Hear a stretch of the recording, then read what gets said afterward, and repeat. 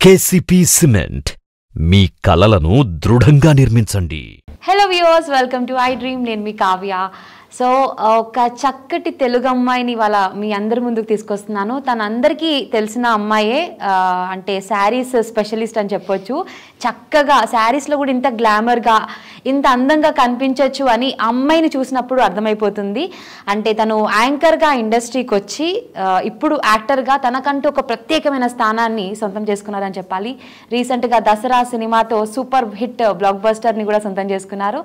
ఆవిడే సోనియా చౌదరి గారు. సో దసరాలో పద్మ అనే రోల్ ప్లే చేసి కీర్తి సురేష్ గారికి రియల్ ఫ్రెండ్ ఏమో అన్నట్టుగా అనిపించింది.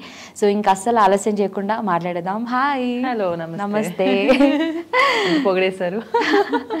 నిజంగా శారీస్ తక్కువ మందికి సూట్ అవుతాయి మీకు పర్ఫెక్ట్గా ఉంటాయి. అంటే వేరే డ్రెస్లో ఊహించుకోలేం ఇంకా ఫిక్స్ అయిపోయారు మీరు అలాగా. ముందే చెప్తుంటారు వద్దులేమ్మా నువ్వు శారీయే కట్టుకో ఏం వేసుకోక అవునా. నాకు కూడా మర్చిపోయా వేరే డ్రెస్లు వేసుకోవడం నేను కూడా. ఓకే. సో ఇంటర్వ్యూకి ముందు కూడా నేను అడిగాను శారీలోనే రండి అని. ఎందుకంటే మీ ఫ్యాన్స్ అందరు కూడా మిమ్మల్ని ఇలాగే ఇష్టపడతారు అనుకుంటా maybe yeah so congratulations Dasara super hit thank you yeah so Padma అని పిలుస్తాను ఇంటర్వ్యూ హ్యాపీగా అందరూ అల్లే పిలుస్తున్నారు ఆల్రెడీ ఓకే సో ఇప్పుడు యాక్టర్గా నా ముందున్నారు బట్ లోపల యాంకర్ ఇంకా హండ్రెడ్ పర్సెంట్ ఉంది. హండ్రెడ్ పర్సెంట్ ఉంది. ఈవెన్ ట్వంటీ డేస్ బ్యాక్ కూడా నేను ఏదో ఈవెంట్ చేశాను. ఓకే సో అంటే మన ఎన్ని మన ఖండాలు దాటినా మన జీన్స్ మారదన్నట్లు ఎన్ని మారినా ఫస్ట్ ఆ ఒరిజినల్ యాంకరింగ్ పోదు కదా అంతే. ఓకే. సో అసలుకి ఎప్పుడు ఇండస్ట్రీలోకి వచ్చింది తెలుగు అమ్మాయే కదా hundred percent. Hundred percent Telugu అమ్మాయి సో ఇంత అంటే సోనియా అనగానే నార్త్ ఇండియన్ సమ్ ఏదేదో అనుకుంటారు. So hundred percent Pakka Guntur Vijayawada locality and Amaravati okay. అమ్మాయిని. లోకల్ అమ్మాయి. లోకల్ తెలంగాణలో ఆంధ్రలో ఆంధ్ర లోకల్ ఆంధ్ర లోకల్ ఇప్పుడు తెలంగాణలో కూడా లోకలే హండ్రెడ్ పర్సెంట్ దసరాతో తెలంగాణ ఇప్పుడు. సో ఆంధ్ర అమ్మాయి తెలంగాణ యాస. ఎట్లా అనిపించింది ఆ ఎక్స్పీరియన్స్ అది చాలా డిఫరెంట్గా ఉంది. అంటే ఫస్ట్లో నాకు చాలా భయం వేసింది. బట్ దసరా టీమ్కి థ్యాంక్స్ చెప్పాలి. ఎందుకంటే వాళ్ళు they're very dedicated people very very అంటే ఆ, గడ్డం సురేష్ గారు అని ఒక ఆయన ఆయన ప్రొఫెసర్ తెలంగాణ స్లాంగ్ అంతా దసరాలో రాసింది ఆయనే. అండ్ శ్రీనాథ్ వాళ్ళిద్దరూ ఎంత పర్టికులర్గా ప్రతి ఒక్క పదాన్ని ఎలా ఉచ్చారించాలి అదంతా ఎలా పలకాలి అన్నది బాగా నేర్పారు. ఈవెన్ డబ్బింగ్ చెప్పేటప్పుడు కూడా నాకు చెమటలు పట్టేశాయి. బట్ ఒక చిన్నది ఏదో మిస్ అయింది మళ్ళీ పిలుస్తామన్నారు డబ్బింగ్కి డబ్బింగ్ మళ్ళీ పిలుస్తామంటే సరే ఇంకా పిలుస్తారు పిలుస్తారు. ఒక్క అంత బాగుంది కదా ఇది ఒక్కటి ఎందుకు తప్పు చెప్పేసాను నేను నాకు ఒక రకంగా అనిపించింది. ఇంకా పిలవట్లేదు ఇంకా పిలవ నేనే కాల్ చేసిన చెప్తాం మేడం అంటారు. నేనే కాల్ చేశాను మళ్ళీ చెప్తానంటారు. అయ్యే బాబాయ్ నా డబ్బింగ్ ఏమైనా నచ్చలేదేమో. వీళ్ళు రీప్లేస్ చేస్తారేమో అనుకున్నా. తర్వాత ఎప్పుడో కాల్ చేసి శ్రీకాంత్ గారిని విష్ చేద్దామని మెసేజ్ చేసినప్పుడు డైరెక్టర్ శ్రీకాంత్ గారు అన్నారు. I really love your dubbing madam అని. Surprise అది. సర్ప్రైజ్ అంటే చేంజెస్ తెలంగాణ స్లాంగ్లో ఒకటి రెండు సార్లు ఒక్కొక్కరిని రెండు మూడు సార్లు పిలిపించి చెప్పించడం జరిగింది. నన్ను సెకండ్ టైం పిలవలేదు. ఓకే. సో సురేష్ గారు వాళ్ళందరూ సెకండ్ టైం రాలేదు. ఒక చిన్న కరెక్షన్ కూడా లేదు మేడం మీ డబ్బింగ్లో చాలా బాగా చెప్పారు. ఎక్కడో మీకు తెలంగాణ రూట్స్ ఉన్నాయి అంటారు ఆయన నిజంగా ఏంటి సీక్రెట్ అసలుకి? అంటే జనరల్గా నేను ఇండస్ట్రీకి వచ్చిన కొత్తలో యాంకర్ కదా ఏమి నువ్వు యాక్ట్ చేయగలవు? ఆర్టిస్ట్ కష్టము ఇవన్నీ. ఇండస్ట్రీ యాంకరింగ్లో ఫాస్ట్నెస్ వేరు ఇక్కడ సెటిల్డ్ పర్ఫార్మెన్స్ వేరు ఇలా చాలా మంది చెప్పారు. నేను నేను అంటుంటా.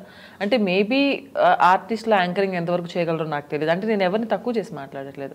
కానీ ప్రతి యాంకర్ పర్ఫామ్ చేయగలదు. వై బికాస్ ఇప్పుడు మనమే ఒక డేలో ఎన్ని అవతారాలు మారుస్తుంటాం? ఒకసారి సెలబ్రిటీ ఇంటర్వ్యూస్ చేస్తాం చాలా సెటిల్డ్గా కూల్డ్గా మర్యాదగా. ఇంకోసారి వెళ్ళి డిఫరెంట్ డిఫరెంట్ స్క్రిప్ట్ ప్రోగ్రామ్స్ చేస్తుంటాం. ఇంకోసారి ఏదో జోవియల్ ఇది చేస్తుంటాం న్యూస్ ఫార్మాట్ చేస్తుంటాము కాన్సెప్ట్ ఓరియంటెడ్ ప్రోగ్రామ్స్ చేస్తుంటాము డిఫరెంట్ గెటప్స్ ఈవెంట్స్ చేస్తుంటాము డిఫరెంట్ గెటప్స్ చేస్తుంటాము. సో ఇన్ని రకాలు ఒక డేలో. ఇప్పుడు మేము చేసేటప్పుడు దగ్గర దగ్గర ట్వంటీ ఛానల్స్ నేను వర్క్ చేసినప్పుడు daily three four channels visit చేయాల్సి వచ్చేది. మరి ఒక్కొక్క ఛానల్లో ఒక్కోటి కదా ఒక దాంట్లో డివోషనల్ అయ్యేది ఒక దాంట్లోనేమో కొంచెం న్యూస్ ఫార్మాట్ అయ్యేది ఇంకో దాంట్లోనేమో ఇట్లా ఎంటర్టైన్మెంట్ అయ్యేది ఇంకో దాంట్లో ఇంకో కాన్సెప్ట్. సినిమా అప్డేట్స్ అనో లైక్ లైవ్స్ అనో సమ్ ఫన్నీ కాల్ ఇంటర్వ్యూస్ ఇలా ఉండేవి కదా. మరి ఇన్ని డేలో మేము ఇన్ని రకాల చేంజ్ ఓవర్స్ యాంకరింగ్లో మేము చేయగలిగినప్పుడు యాక్టింగ్లో ఎందుకు చేయలేము సూపర్ వాటర్ ఏమైనా కావాలా? యాంకరింగ్ పార్ట్ మొత్తం తనే చేసేస్తున్నారు. సో అని అనేదాన్ని. అంటే అఫ్కోర్స్ పెద్దవాళ్ళ దగ్గర కాదు. జనరల్గా నా ఫ్రెండ్స్ దగ్గర అనేదాన్ని. ఇప్పుడు ఇచ్చి చూస్తేనే కదా తెలిసేది. మీరు ఎంతవరకు పర్ఫామ్ చేయగలరు అన్నది మీకు ఒక ఆపర్చునిటీ ఇచ్చి మీకు ఆ ఫ్రీనెస్ ఇస్తేనే మీరు ఎంతవరకు చేయగలరో తెలుస్తుంది. అలా కాకుండా నువ్వు చేయలేవు అని ముందే జడ్జ్ చేయొద్దు కదా. అని నేను అనేదాన్ని. ఇప్పుడు యాంకర్లు ఇప్పుడు మాకు ఇంత స్క్రిప్ట్ మేము గుర్తుపెట్టుకుంటాము. ఇంత స్క్రిప్ట్తో పని లేకుండా మేము చేస్తాము. ఈవెంట్ స్టేజ్ మీద ఇంతమందిని హ్యాండిల్ చేస్తుంటాము. అలాంటిది ఒక నాలుగు లైన్ డైలాగ్ మేము చెప్పలేమా? ఎందుకు చెప్పలేం? కరెక్ట్. సో యాంకరింగ్ బాగా హెల్ప్ అయింది యాక్టింగ్కి హండ్రెడ్ పర్సెంట్ హెల్ప్ అయింది. అంటే మేబీ సెటిల్డ్ పర్ఫార్మెన్స్ ఆ డైలాగ్ డెలివరీ అవి నేర్చుకోవాల్సి వచ్చిందేమో తప్ప స్క్రిప్ట్ ఏ రోజు నేను మర్చిపోలేదు. డైలాగ్ ఏ రోజు నేను మర్చిపోలేదు ఇప్పుడు దసరా నాకు లుక్ టెస్ట్ రోజు ఏదైతే డైలాగ్ ఉందో ఆ డైలాగ్ నాకు గుర్తుండి నేను పర్ఫామ్ చేశాను. అది వన్ మంత్ తర్వాత. అదే డైలాగ్ నాకు గుర్తుండి సిక్స్ మంత్స్ తర్వాత డబ్బింగ్ చెప్పాను నేను. కమాన్ మాకు కావాలా డైలాగ్ ఇప్పుడు రాదులేండి. డైలాగ్ చెప్తా. అంటే విత్ పర్ఫార్మెన్స్ చెప్పలేనేమో కానీ డైలాగ్ చెప్తా. నీకోటి చెప్పాలనే. నా మొగుడు పోయినాక అప్పులోళ్ళందరూ నా ఇంటి మీద పడ్డారు. ఏం చేయాలనో అర్థం కాలే. చిన్న నంబి నా బాకీలన్నీ కట్టి నా ఒంటి మీద చెయ్యేసిండు నా పిల్లల కోసం నేను లొంగిపోయినా. ఆడదంటేనే బతుకమ్మంటారు మొగుడు లేని ఆడదాంతో ఆ బతుకమ్మను కూడా పెట్టనియరు నీ బతుకు నాలక కాకుండా చేసిండే ధరని అని. అమేజింగ్ గుర్తుంది. ఇది నేను ఫస్ట్ టైం లుక్ టెస్ట్ రోజు ప్రాక్టీస్ చేసిన డైలాగ్ ఎందుకు గుర్తుంది? స్క్రిప్ట్స్ అలవాటు కదా. అండ్ ఈవెన్ ఇప్పుడు ప్రామిటర్స్ వచ్చాయి. ప్రామిటర్స్ ఏదైనా చదవాలంటే but ten twelve years back మా టీవీకో జెమినీకో ఇంకో ఛానల్కో వర్క్ చేసినప్పుడు న్యూస్ ఛానల్స్లో ప్రామిటర్స్ ఉండేవి కానీ ఎంటర్టైన్మెంట్ ఛానల్స్లో ఎక్కడ ప్రామిటింగ్ ఉండేది కాదు. అండ్ ఇప్పుడు ఈ లైవ్ ప్రోగ్రామ్స్ ఇంటర్వ్యూస్ ఇవి వచ్చాయి. అప్పుడు ప్రాపర్ స్క్రిప్ట్ ప్రోగ్రామ్స్ ఉండేవి. Script half page one page script ఇచ్చి చెప్పమనేవాళ్ళు. ఇంట్రొడక్షన్స్ ఇప్పుడు ప్రతి సినిమా గురించి మేము ఒక ఇంట్రొడక్షన్ ఇస్తే ఆ సినిమా విజువల్స్ ప్లే అవుతాయి. అలా ఎంత స్క్రిప్ట్ చెప్పుంటాం?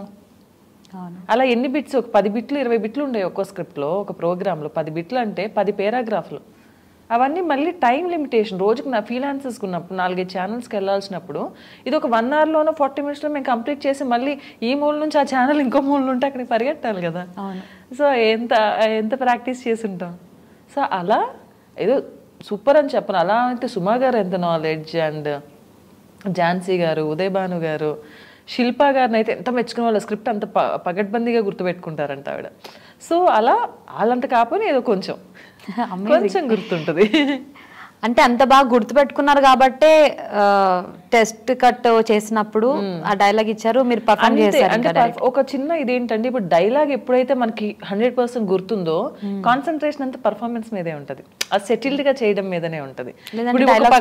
ఒక పక్క డైలాగ్ టెన్షన్ ఒక పక్క పర్ఫార్మెన్స్ టెన్షన్ ఉందనుకోండి చేయలేం. రెండింటిని మేనేజ్ చేయలేం. ఒకటి ఫ్రీ ఇంకొకటి రిలాక్స్డ్గా కాన్సన్ట్రేటెడ్గా చేసుకోవచ్చు. ఓకే